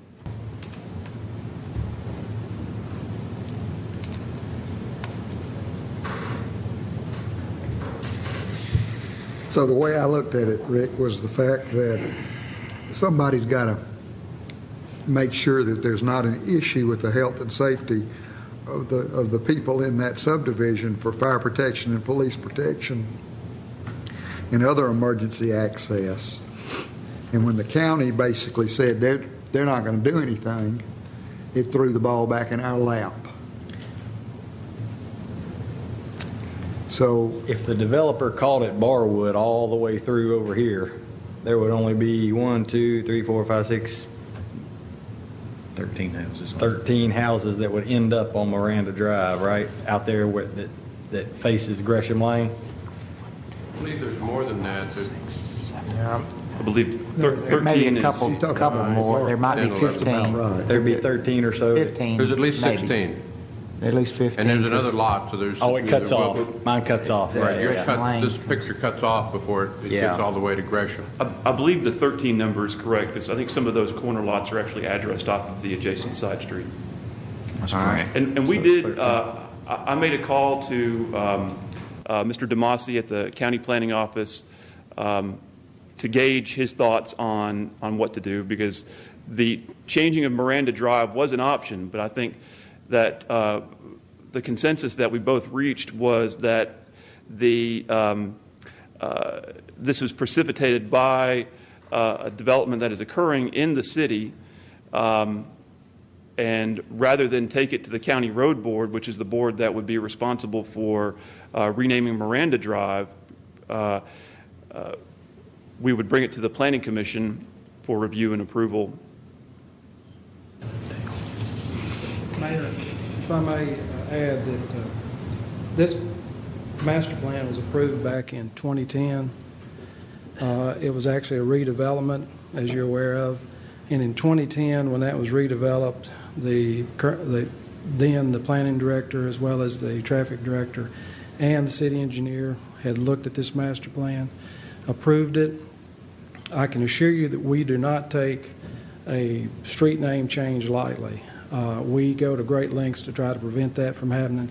We do, anybody that's ever moved knows the aggravation of trying to go in and change your address, and, and that was considered, believe it or not, back when this was done, knew at some point in time that that street would have to be changed. Some of the factors, though, that do come into count or into play when that happens, you have to think about the, not only the lot layout, but this piece of property does lay in between an existing county subdivision, city development coming up to it for good connectivity through the streets, through the subdivision, uh, working with the uh, topography of the property, the drainage that you have to work with, and from the time it was previously approved to the 2010, our stormwater regs has changed, water quality uh, requirements were increased.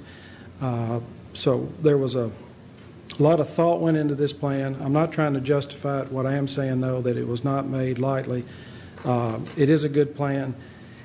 From time to time, we will have to come up to the council and the planning commission and ask for renaming. We try to prevent it if at all possible, Uh, but from time to time, we will because a good developed subdivision road layout, uh, even though we are inconveniencing 19 people, we will have to live with the development for a long time. Uh, Having good connu- connectivity or connectivity through this subdivision uh, is very, very important. And uh, could you redesign it? Absolutely, it could be redesigned, there's no doubt. But uh, in working with the engineers and the developer, this was the plan they decided on back in 2010. I was not there, of course, but I can assure you, I do know who had uh, approval on this. And uh, the proof that we don't take it lightly, changing addresses, is the number of uh, name changes that we come and bring the council and the planning commission. And we may average one a year. Uh, So, and there's a lot of development. And uh, in the big scheme of things, uh, like I said, we have to live with the decisions we make, and we try to make the best decisions for the future when we do these developments.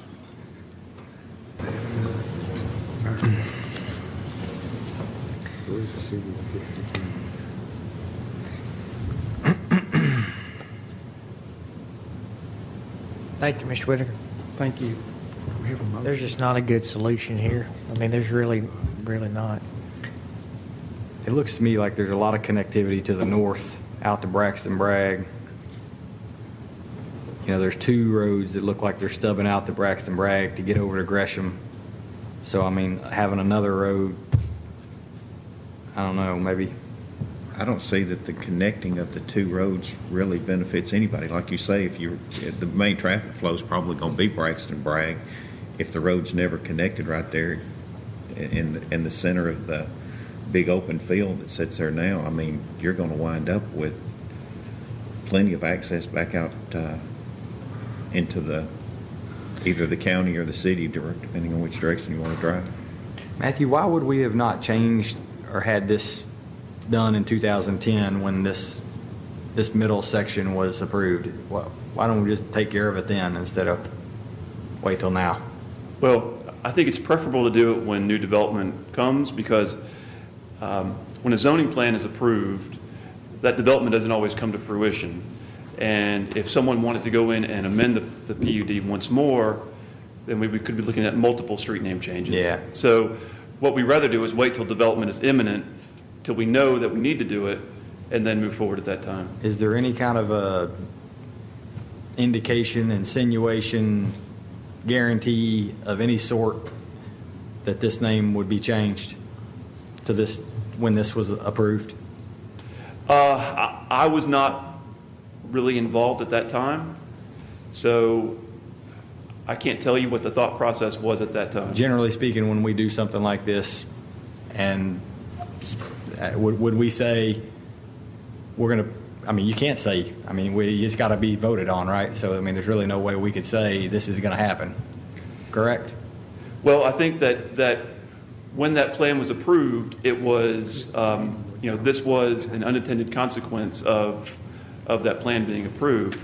And it was, uh, uh, but I, I think I first noticed it a couple of years ago, and I started preparing myself for the um, inevitability that this issue was going to come up. And um, so as Hillwood has begun to move forward, um, it's, it's sped up my thought process. And, uh, but one thing, if, if this is approved, um, I want to assure the city council, um, I've done this many times before. Um, not a lot of times, like Gary says, we try to minimize it as much as possible, but we have had large scale renamings, much larger scale than this. Uh, Barfield Crescent, um, Kimbrough Road, um, Blackman Road, Middle Tennessee Boulevard, Manson Pike, um, and uh, those are all.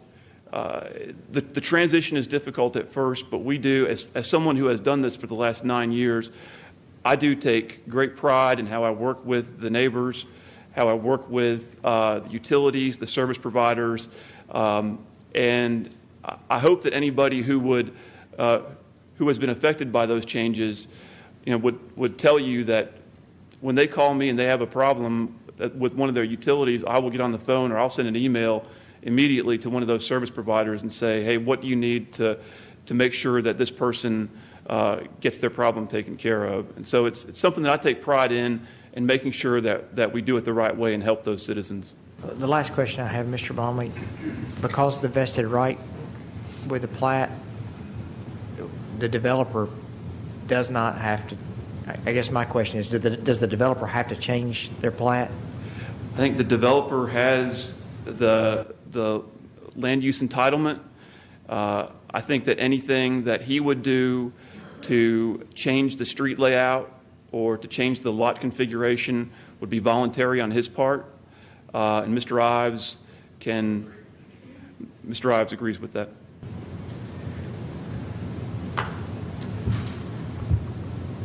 Have we had any conversation with them? Uh, has- Has that conversation occurred? Oh, yes.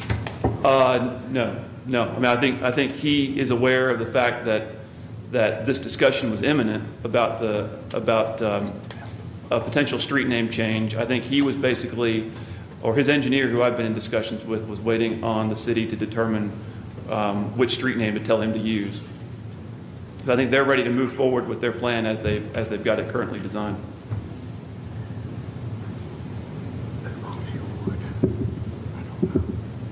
I would like to uh, suggest that the motion, if if it's going to be approved, that it be revised to say that the motion is to ratify the action of the Planning Commission, not to approve their recommendation, because this doesn't truly come as a recommendation, but we are asking council to ratify it. And that's a necessity or not a necessity? I mean, It's this this is a lot of discussion. The, is my, under- the charter and state law gives planning commission uh, say-so over street names. Uh, For as long as I've been here, I think whenever there's a change, it's been brought to, to council. Uh, And so this one is, is also. Is there a motion?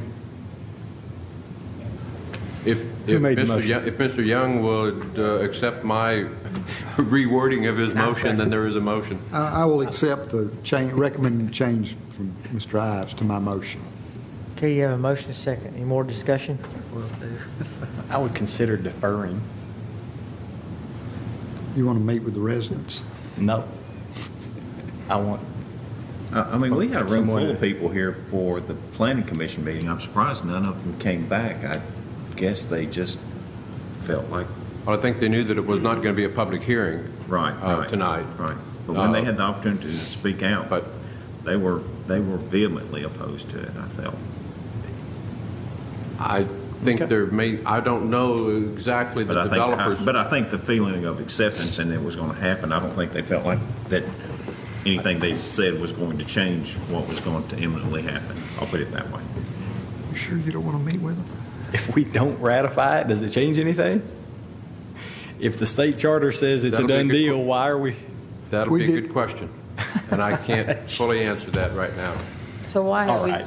spent all this time Let's- talking about? it? For I mean, information and, for information for the, from the planning commission to the council, to always let them know what the planning commission is doing, and courtesy to the council to do that. And so we don't really need to make a motion and vote, Vote, but I right. appreciate the information. I do, I'm glad to know about it. I didn't know about it, so I'm glad to know about it, but if We don't need to vote on it because it's a a done deal. if we don't even know what's going to happen when we vote, I'd say we just hold off. Maybe we ought to defer it, perhaps. And, and if, if the action is final, maybe the action is final.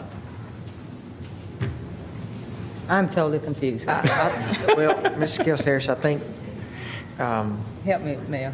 we, as a rule, have, like, for instance, Legislative. we don't have to have public hearings at the city council level if a public hearing is done at the planning commission level, but we have said that we're going to go the extra step and that the city council is always going to make those decisions for public hearings, so I, All right. We want to vote, that's fine. yeah, I mean, I- I'm, my opinion, I, I think we vote on it, and that's, so, So if, we have a motion and a second. All right, I'm going to back the planning commission. Planning commission's vote on this, uh, because that's all we're really doing. Uh, But, um, because it you wouldn't know, change I wish there if it were was not. options, and maybe we should have had a public hearing if that's what we're going to do. Rick, in, in doing the research, we looked at the options. The options were to see if the county would participate, and the answer was no. Right. Then the, by right of the plan, the developer doesn't have to do anything. And if he does anything, it's going to cost him two to four lots if he cul-de-sacs that in. And that may be, if the lots are $40,000 apiece, that's over $100,000. So he's exercising his right not to do anything.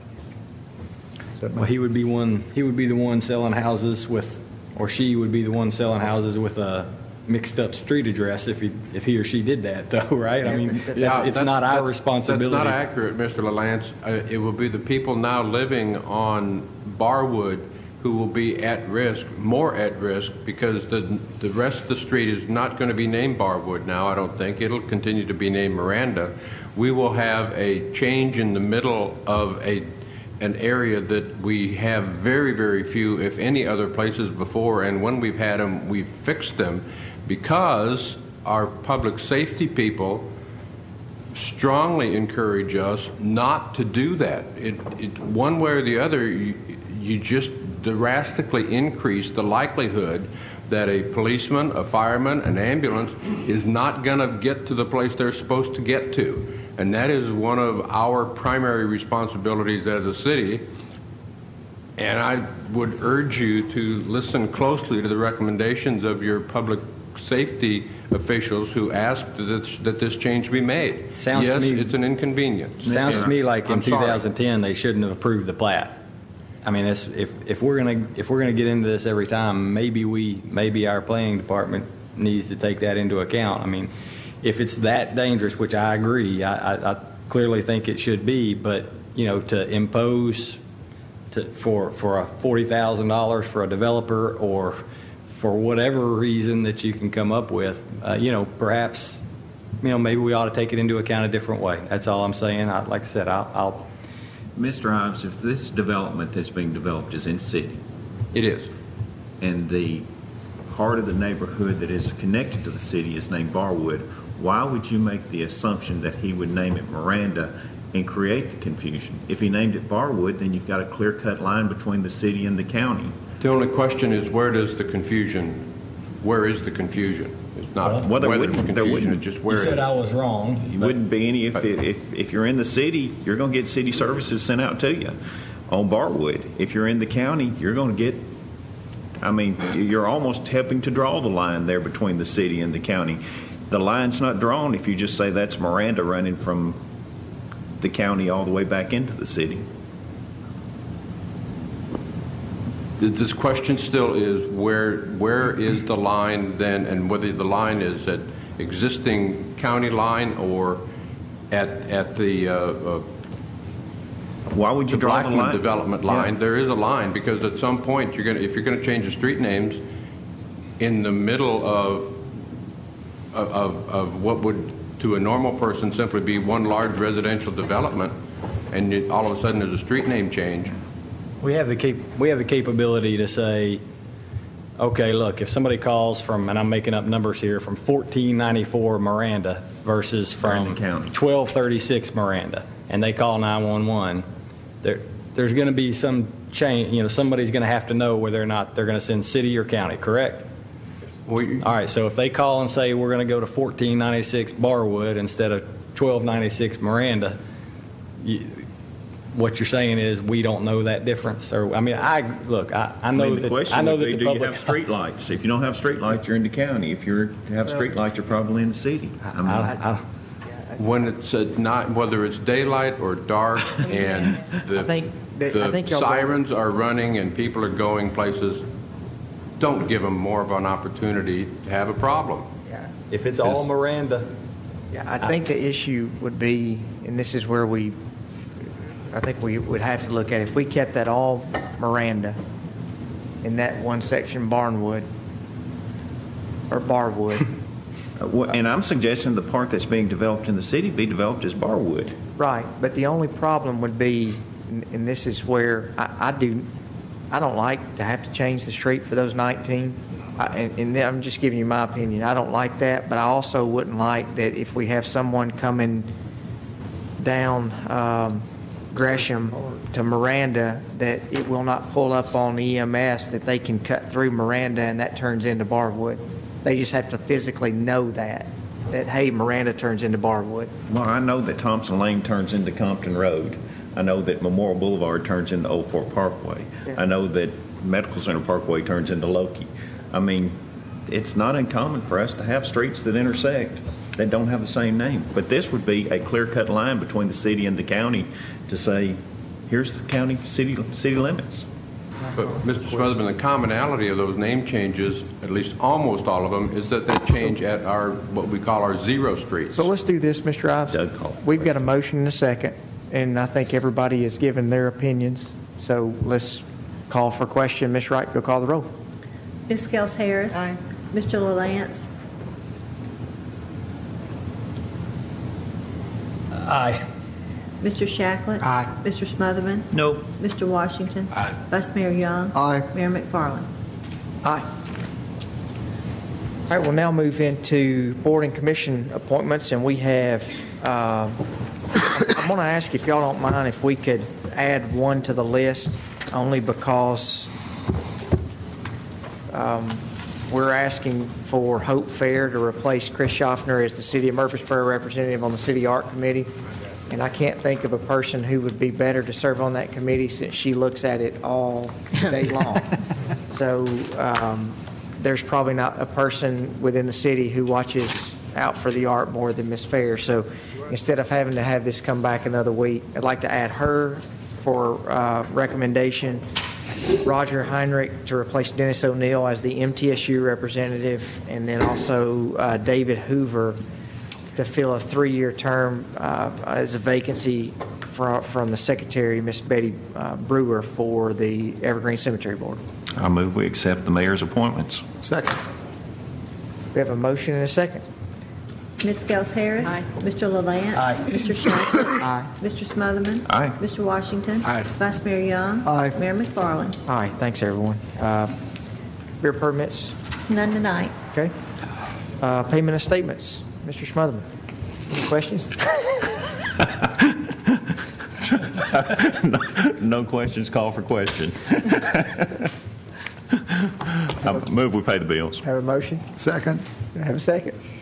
Ms. Wright, will call the roll. Ms. Scales Harris. Aye. Mr. LaLance. Aye. Mr. Shacklett. Aye. Mr. Smotherman. Aye. Mr. Washington. Aye. Vice Mayor Young. Aye. Mayor McFarland. Aye. Thank you, Mr. Smotherman. Um, Other business from staff or city council, you have one item that's on your,